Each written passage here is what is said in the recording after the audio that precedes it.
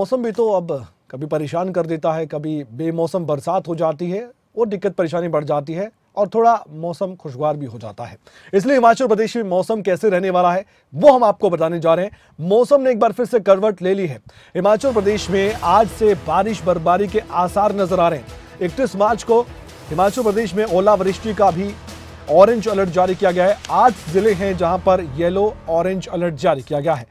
शिमला, सोलन, सिरमौर, मंडी और कुल्लू। ये वो ज़िले हैं जहाँ पर अलर्ट जारी किया गया है। इसके साथ ही चंबा, किन्नौर और लाहौल स्पीति में भी येलो और ऑरेंज अलर्ट जारी किया गया इसका मतलब हम आपको बता दें कि यहाँ पर आसार हो जाते हैं कि किस तरह से बारिश हो सकती है, ओलावृष्टि हो सकती है।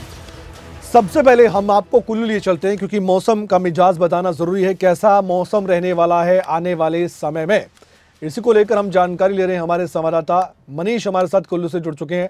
मनीष, कुल्लू में फिर से मौसम बदलने वाला है। फ़िलहाल का मौसम क्या अभी शांत आपको दिखाई दे रहा है या फिर मौसम बेईमान हो जाएगा?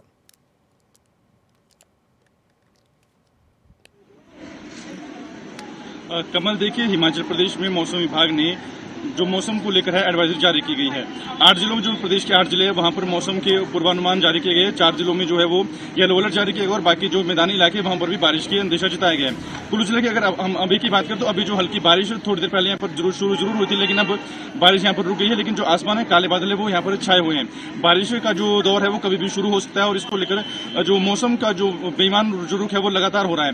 बीते कुछ दिनों की बात करें तो बारिश का दौर लगातार जारी था, उसके बाद एकदम काफ़ी गर्मी हो गई थी। उसके बाद फिर से जो मौसम ने वो करवट बदली है और एक बार फिर से जो मौसम है तो टेम्परेचर गिरा है। आज से जो पारा गिरा है इसका मतलब आप कह रहे हैं। और ठंड फिर से ज़्यादा महसूस होने लगी है क्या?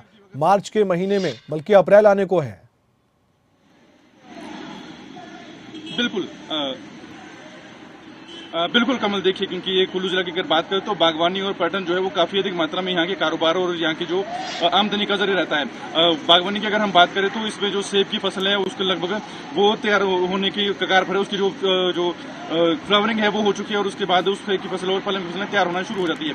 लेकिन जिस तरह मौसम का बदलाव हो रहा है, बारिश हो रही है, बेमौसमी बर्फबारी हो रही है, ओलावृष्टि हो रही है तो कहीं ना कहीं उसे काफ़ी नुकसान देखने को मिल रहा है। अगर आनी क्षेत्र की बात करें तो आनी क्षेत्र में बीते दिन हुई ओलावृष्टि से करीब एक से डेढ़ करोड़ की फ़सल का जो नुकसान है, सेब का वो हुआ था। कुल्लू जिला की बात करें तो कुल्लू में जो फस, पलम की फ़सल है वो लगभग तैयार हो गई है फ्लावरिंग उसकी हो चुकी है। ऐसे में अगर ओलावृष्टि और बारिश होती है तो वो कहीं ना कहीं उसको भी नुकसान होता हुआ दिखता नज़र आ रहा है। तो ऐसे में कहीं ना कहीं जो बागवानी क्षेत्र से जुड़े लोग हैं उनको नुकसान इस बेमौसम की जो बारिश और बर्फबारी उससे होता हुआ नज़र आ रहा है। कहीं ना कभी धूप तेज हो रही है कहीं मौसम खराब हो रहा है तो ऐसे में जो मौसम का बदलाव है वो काफ़ी नुकसान करता हुआ नज़र आ रहा है। ऊँचे पहाड़ी इलाकों पर क्या बर्फबारी के भी आसार दिखाई दे रहे हैं? मौसम विभाग के अधिकारी कुछ बता रहे हैं कैसा मौसम अगले एक हफ़्ते तक रहने वाला है? एक बार ये जानकारी और आप दे रहे हैं हमारे दर्शकों को। पर्यटकों के लिए भी काफ़ी अहम जानकारी हो जाती है। देखिए, अगर मौसम विभाग की मौसम विभाग की बात करें तो जो मैदानी इलाकों में बारिश की संभावना जताई गई और ऊंचाई वाले तमाम इलाकों में बर्फबारी का अंदेशा जो मौसम विभाग की ओर से जताया गया है। बीते कल और कुछ दिनों पहले की बात करें तो यहाँ पर जो बारिश एकाएक हो रही थी उस हल्की बर्फबारी जो ऊंचाई वाले इलाकों में भी हो रही थी। बर्फबारी की बात करें तो अटल टनल और उसके साथ लगते जो तमाम इलाके वहाँ पर हल्की बर्फबारी भी दर्ज की गई थी। साथ ही तमाम जो कुल्लू जिला के ऊंचाई वाले इलाके वहाँ भी हल्की बर्फबारी देखने को मिली थी। ऐसे मौसम विभाग की ओर से एक बार फिर से जो है वो मौसम को लेकर चेतावनी जारी की गई और बर्फबारी जो है वो एक बार फिर से यहाँ पर ऊंचाई वाले इलाकों और निचले इलाकों में बारिश हो सकती है। जी कमल। मनीष ये जानकारी आपने विस्तार से, धन्यवाद। लेकिन जुड़े रहिए हमारे साथ। हमारे साथ प्रेमलाल भी लाहौल स्पीति से जुड़ चुके हैं। उनसे भी हम मौसम को लेकर जानकारी लेते हैं। लाहौल स्पीति काफ़ी ऊँचा पहाड़ी इलाका है।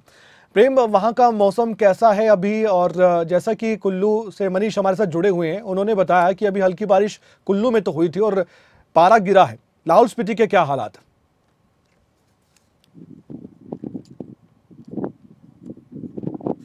जी, बिल्कुल पिछले दो तीन दो, तीन दिनों से जो है लाहौल घाटी में दिन को काफ़ी मौसम ख़राब रह रहा है। आप अभी देख सकते हैं, धूप खिली हुई है, लेकिन पहाड़, जो ऊंचाई वाले इलाकों में जो पहाड़ है, वहाँ पर जो है अभी भी बादल जो है गिरे हुए हैं और कभी भी जो है यहाँ का मौसम जो है बदल सकता है।